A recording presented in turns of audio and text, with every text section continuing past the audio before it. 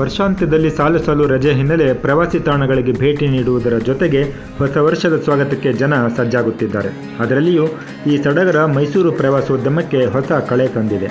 ರಾಜ್ಯದ ನಾನಾ ಭಾಗದಿಂದ ಬಂದಿರುವ ಜನ ಪ್ರವಾಸಿ ತಾಣಗಳಲ್ಲಿ ಸಮಯ ಕಳೆಯುತ್ತಿದ್ದಾರೆ.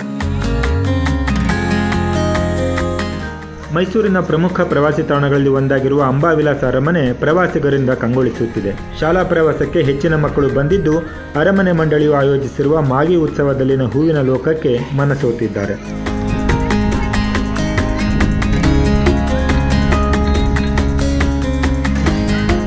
ಕಾಡಾನೆ ದಾಳಿಯಲ್ಲಿ ಮೃತಪಟ್ಟ ಅರ್ಜುನ ಆನೆ, ಕಬ್ಬು ಬಾಳೆ ತೋಟದಲ್ಲಿದ್ದ ತಾಯಿ, ಮರಿ ಆನೆಗಳು, ಹುಲಿಯ ಮೇಲೆ ಕುಳಿತ ಮಹದೇಶ್ವರ, ಹೀಗೆ ನಾಲ್ಕು ಲಕ್ಷ ಹೂ ಬಳಸಿ ವಿವಿಧ ಮಾದರಿಗಳನ್ನು ನಿರ್ಮಿಸಲಾಗಿದ್ದು, ಪ್ರವಾಸಿಗರು ಫೋಟೋ ತೆಗೆದುಕೊಂಡು ಸಂಭ್ರಮಿಸಿದರು. ಇನ್ನು ಚಾಮುಂಡಿ ಬೆಟ್ಟದಲ್ಲಿ ವಾರದಿಂದ ಜನಸಂದಣಿ ಹೆಚ್ಚಿದೆ. ವರ್ಷದ ಕೊನೆಯ ದಿನ ಭಾನುವಾರ ಸಾವಿರಾರು ಭಕ್ತರು ದೇವರ ದರ್ಶನ ಪಡೆದು ಹಣ್ಣು ಕಾಯಿ ಅರ್ಪಿಸಿದರು.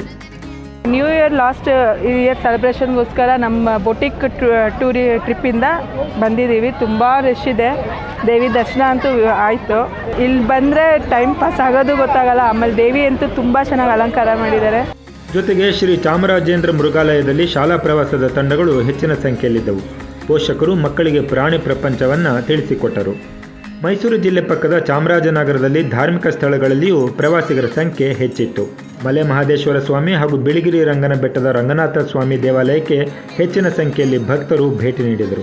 ಹೀಗೆ ಜನಸಂದಣಿ ಹೆಚ್ಚಿರುವುದರಿಂದ ಪ್ರವಾಸಿ ತಾಣಗಳಲ್ಲಿನ ವ್ಯಾಪಾರವೂ ಜೋರಾಗಿತ್ತು.